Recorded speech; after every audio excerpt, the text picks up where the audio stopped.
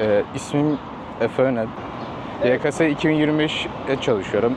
Evde çok çalışamıyorum yani şimdi okulda telefon var, tablet var. Sonra sürekli yatasım geliyor mesela, yatak var. Evet. Sürekli uyuyasım falan geliyor. O yüzden yani mesela Fatsa Belediyesi yeni bir şey açmış, kitap kafe diye.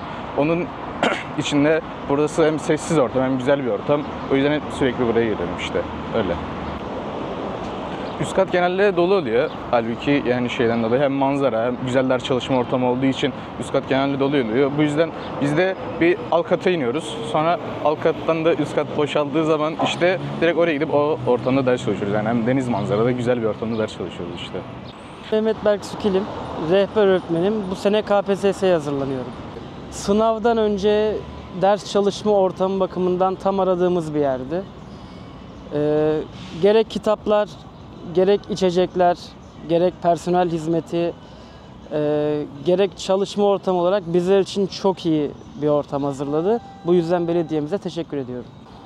Manzara özellikle e, burada yeşil alanlarımız var. Burada kuş cıvıldılarının eşliğinde, e, arkada deniz sesinin eşliğinde nezih ve güzel bir ortam sunulmuş. Yani gayet güzel.